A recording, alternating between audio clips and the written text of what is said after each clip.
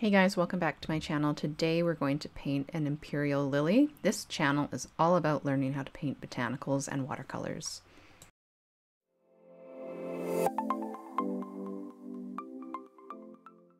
Welcome back to my channel guys. Today we are going to be painting a crown imperial lily, which is a member of the Fritillaria family. I love these flowers and they signal the beginnings of spring to me and I thought I would show you how I approach painting one with my three-step painting method. So if you would like to see how I do that, then keep on watching. I love all the spring flowers that are out right now, and the Crown Imperial Lily is one of the first lilies to come up, so I thought I would capture it in a painting and show you how I did it. I'm using my three-step method for painting. That means step one is starting off with the wet and wet wash. So I wet the paper with clean water. I've already mixed up all my colors. I'm using my Mungyo 48 pan palette. You can check out the video um, that I made on the color palette and the review of all the colors. Um, I'll link that in the description below. And um, it's really reasonable if you're starting out painting. I think it's around 60 or $70 Canadian. So if you would like to get a bunch of colors that are really great for botanical painting, then check it out. And so I'm just looking at a few different pictures of the Imperial Lily. Um, I kind of made my own composition um, and then I'm adding in the dark parts that are at the top of the flower first and I'm making them a little bit more subtle because you could go a little too crazy with the black and orange look, um, and it could end up looking really Halloween like and garish. So I'm just adding that part in subtly. And I think I mixed that up with Payne's Gray and uh, Violet together to get sort of a, a dark blackish purple color. And I'm just adding it in, so wet paper dropping in the wet paint, letting it sort of mix around and fade into um, the white area a little bit. And the trick is to just use a little bit of paint. Less is more. Start off with less. You can always then let it dry and add more after. Each time that I do add more paint, I am letting the layers completely dry. I don't show all of that on the YouTube video because it would make the video really long. You can dry those um, areas in between with a hair dryer on low to speed things up so you don't have to wait for it. And I'm definitely making sure that um, the darker areas are completely dry before I wash on the clean water again to start dropping in the orange, um, yellowish orange paint. You can see I have a few different um, mixes of orange and yellow. No flower is ever just one color, even it looks just orange. It's usually mixes of dark orange, light orange, warm, cool colors, yellowish, reddish. So try and look at the picture that you're using or the plant and really see what colors uh, or what areas are more saturated. Usually areas that are um, facing upward or directly to the light are warmer in color, and then areas in shadow are cooler in color. I'm going to move along and work on all the petals, making sure that if I'm working right beside a petal I painted, that it is again dry first. This is very important with watercolor painting. You want to make sure all your layers are completely dry all the areas you've painted that's going to be a separate area like a separate petal are completely dry. This is a common beginner's mistake to kind of rush it along or to think it's dry and start painting but it's actually still a bit damp. So that's where your hair dryer comes in handy. And one of the things about botanical painting is learning um, the subtleties of as the paper is drying, the different things you can do. So when something's not quite dry but still a tiny bit damp, you can always paint in little veins that will fade and diffuse out. And these are skills that come along with practice, watching videos and then just practicing it yourself um, to learn how your paper and water and paints react together.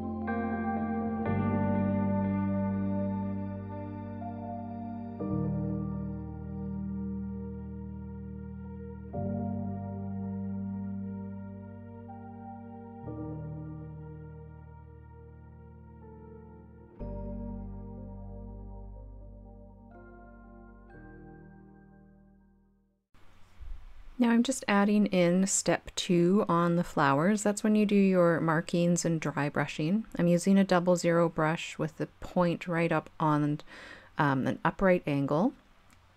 And I am just doing some very faint veins before I move on to step three, which is wet on dry, using the wet paint and then um, using a bit of a graded wash technique to blend it out, which you can see here. I'm still using a small brush for that because these are tiny areas. And one of the biggest things with this method of painting that I do is I do almost all of my painting in step one.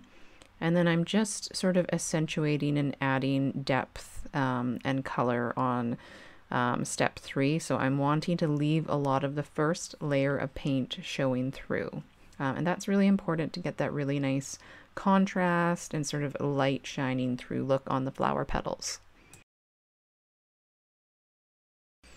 Now I'm mixing up some greens for the leaves and the first layer of the stem is dry, the flowers are dry. I've added in the little um, yellow anthers hanging down from the flowers as well. And I used some of the white in the anthers to make it more of an opaque yellow. For the greens, I am mixing up three greens as I usually do, light, medium, and dark.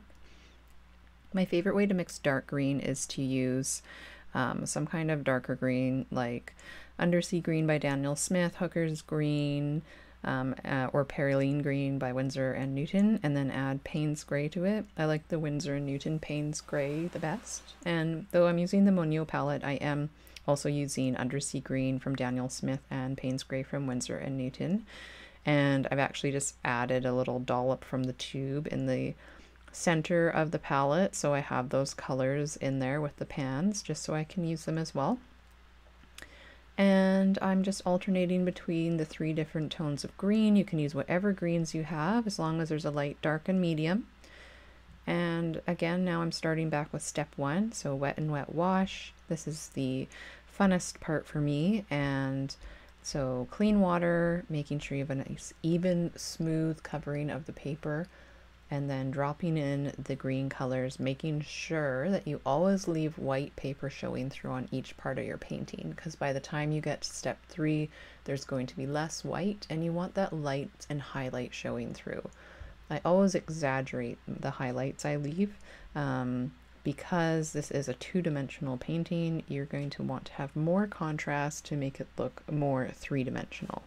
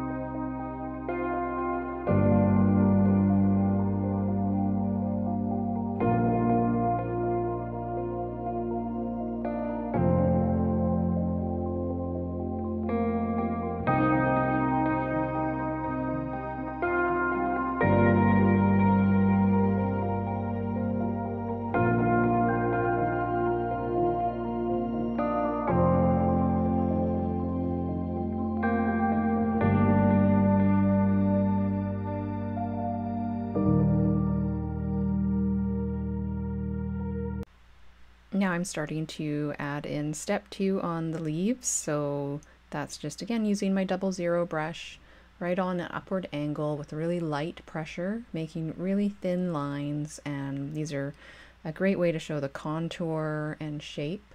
It also fills in some of the white areas a little bit, but allowing um, more white paper to show through without there just being big blotches of white. And I'm just moving around on the entire painting and going over all the leaves with this step two before I start on step three, which is again the wet paint on dry paper. I'm going to put um, a wet splotch of paint where I want darker shadows and contrasts, and then I'll clean out my brush and catch the edge to soften it.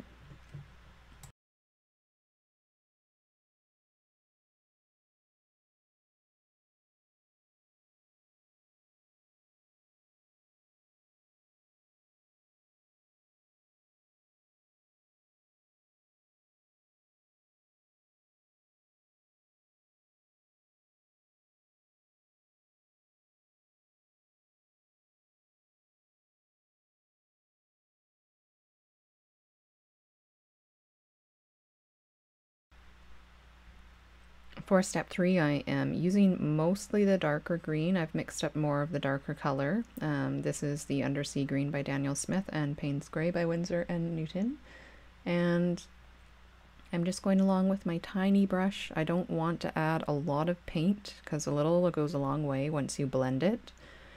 And I'm focusing on areas that are being overlapped. They'd be in shadow um, or parts where the leaf is bent over or at the bottom or the very tip.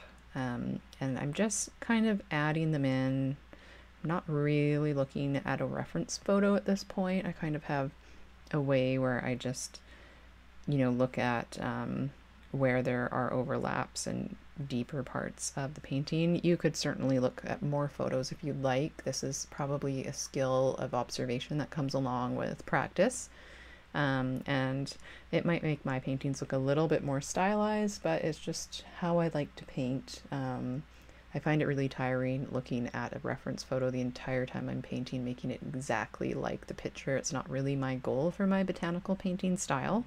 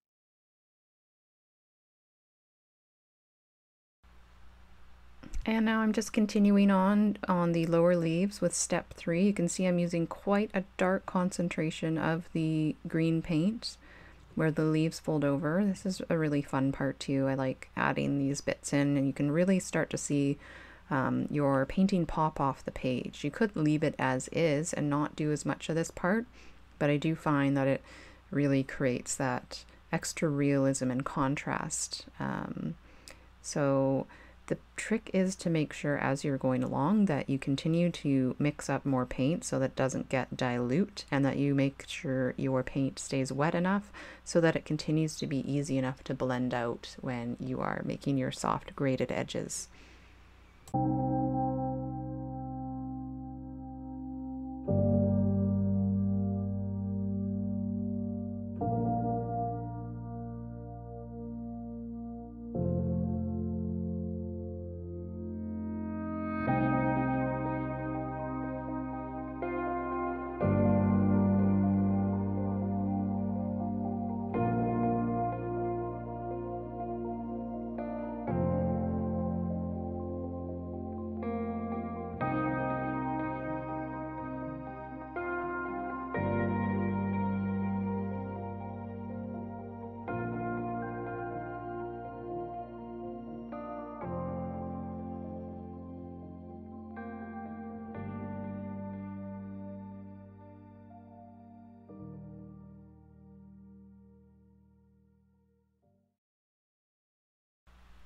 And that's pretty much it for this painting. Thank you for watching to the end and let me know in the comments below what type of flower paintings you would like to see next.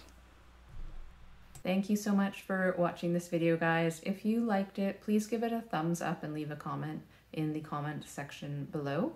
It really helps my videos trend on YouTube and gain subscribers and that allows me to make more videos for you. And if you did like the video, I post new videos every week, so subscribe to my channel and then just hit the little bell icon beside subscribe, click all, and then you'll get a notification each time I post a new video.